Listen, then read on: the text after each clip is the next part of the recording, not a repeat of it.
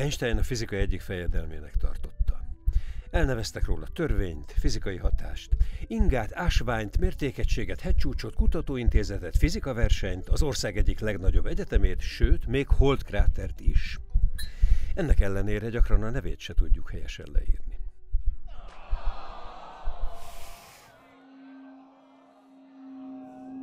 Háromszor jelölték Nobel-díjra. Feltette a magyar tudományosságot a nemzetközi térképre. Oktatási reformjaival pedig megágyazott a marslakók nemzedékének.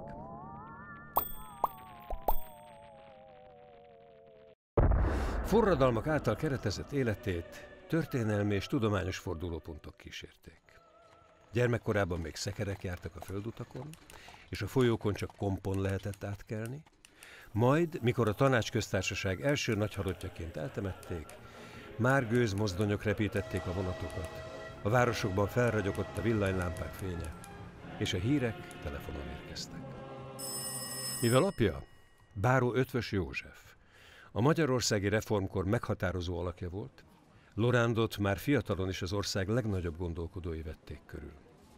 E találkozások hatására verseket írt, rajzolt, hegyet mászott és fényképezett, de legjobban a természettudományok érdekelték. Ennek ellenére a kor elvárásainak megfelelően eleinte jogásznak készült. Ám végül úgy döntött, inkább azzal foglalkozik, ami igazán lázba hozza, és beiratkozott a Heidelbergi Egyetemre. Ekkortájt szinte egymást érték a tudományos és technikai forradalmak. A Foucault inga kísérletileg bizonyította a föld forgását.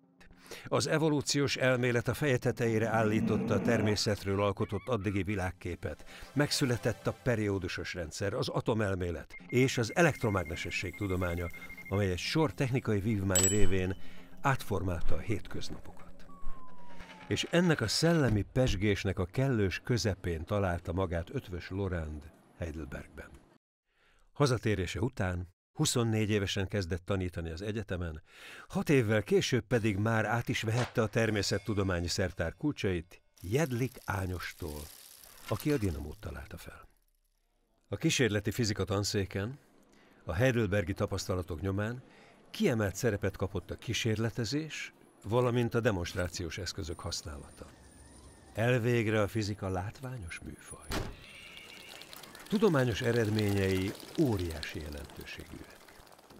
Torziós ingája a relativitás elmélet első kísérleti bizonyítékát adta.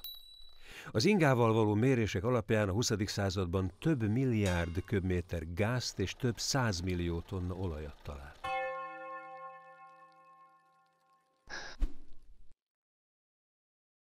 Ha ötvös szabadalmaztatta volna a találmányát, rengeteg pénzt kereshetett volna, de őt az ilyesmi nem érdekelte. A tudás gyarapítása és a tudás átadása volt számára a legfontosabb. Az első tudós tanár volt.